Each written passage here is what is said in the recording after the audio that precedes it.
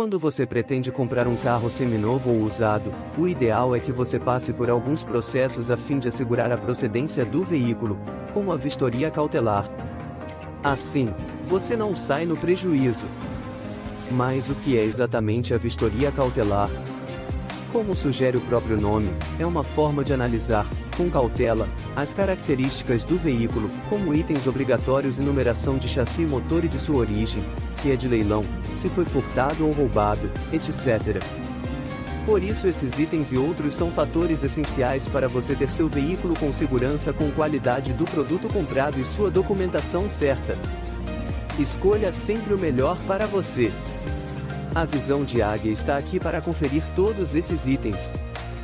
Dirija sempre com segurança.